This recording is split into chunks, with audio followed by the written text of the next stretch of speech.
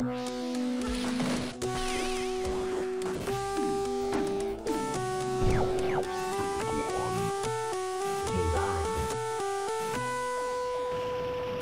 really proud of Star Control.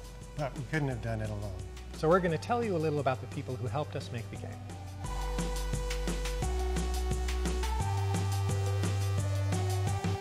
I met Erol Otus in the 10th grade at Berkeley High School, and we played D&D every day for about three years. During that time, we began making our own D&D books, and then we both moved out to Lake Geneva, Wisconsin to work at TSR Hobbies on Dungeons & Dragons. He worked here at Toys for Bob for 15 years, and he's now doing freelance illustration on Hackmasters and other paper role-playing games.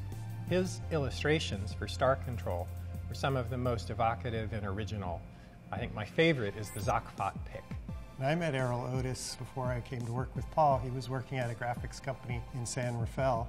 He was one of the people who uh, introduced me to Paul. Erol was one of the original Dungeons & Dragons artists, and his style is unlike any of the other artists. If you mention Erol Otus to someone who played D&D back in the late 70s and early 80s, they'll know him. And I play D&D with him a few times a year, and I love it. He always wears shorts, and he owns the same car he's had for since 1984. He has a Honda CRX. I think he's most famous in terms of his work at TSR on D&D for the cover of Deities and Demigods, and also the Cthulian illustrations that are included inside, or at least were until it was discovered that TSR did not have rights to Cthulhu. Kyle Balda was just a teenage guy that we hired. He worked at LucasArts and he came in to do some animation for our Alien Conversations. He was going to CalArts. That's an expensive school even back then, and so he was trying to make money over the summer. At night, he would just show up at our office and do animation. Many, many years later, I was at Illuminations, a company that makes Despicable Me, and Minions, and I saw a poster for Minions, and I noticed under the director's name was Kyle Balda. I met Greg Johnson in 1984. We were both working with Electronic Arts. I was making mail order monsters, and he was making Starflight. He has invented alternate phone ringing technology. Uh, he did Orly Draw Me a Story, in which when children draw pictures, it automatically appears in the game. He's done a TV show for Disney involving trains and hip hop. Starflight was a huge inspiration to Star Control. He tries things that no one else has ever done before. He worked with us and he worked adjacent to us for many years on games like ToeJam and Earl and Caveman Olympics. And Greg recently has done a Kickstarter for ToeJam and Earl and he's doing a FIG program for Starflight 3. Iain McCaig went to Glasgow School of Art in the late 70s and he actually ended up doing a lot of art for early role-playing games, most famously The Cask of Souls. And his illustrations are classic. They're beautiful. And when he came to the United States, he worked at LucasArts working on games like Monkey Island. He's a very great artist. He did Darth Maul uh, in the Star Wars franchise, among many other concepts. Including Hook and Interview with a Vampire, doing both concepts as well as storyboards. So Iain McCaig wanted to help out on Star Control, but surprisingly, he didn't want to do art. He wanted to do creative writing. And when he provided us writing for the Vux, it was hand illustrated in the most beautiful calligraphy. We've still got those sheets saved. Perfectly kerned. Perfectly kerned. Currently, Iain is directing independent movies.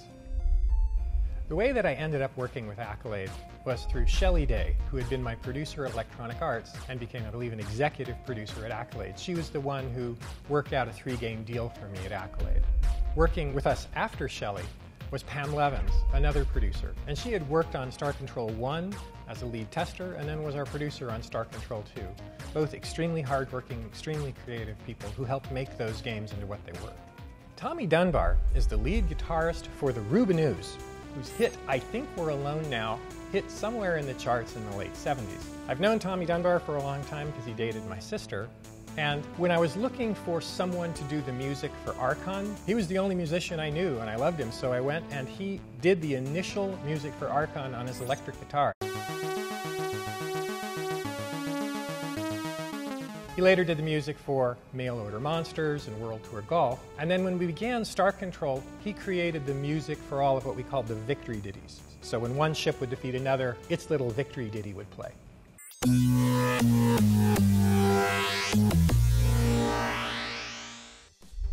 Robert, I first met with Erol. We were all at the same company, and he was an engineer and I was an engineer. And he actually left the company before I did to start making games, so perhaps he led me out. Robert actually created a game called Dragon's Eye, and I believe should be credited with the first use of persistent corpses in a game. I had set up a system in Star Control 1 where I could plug in ships and powers pretty quickly, and I let him do the Mmrnmhrm. He did a lot of the coding on the Sega Genesis port, um, and I think he helped on ToeJam and Earl too, actually. Yeah. So um, he was part of the little conclave of developers we had sitting next door to each other.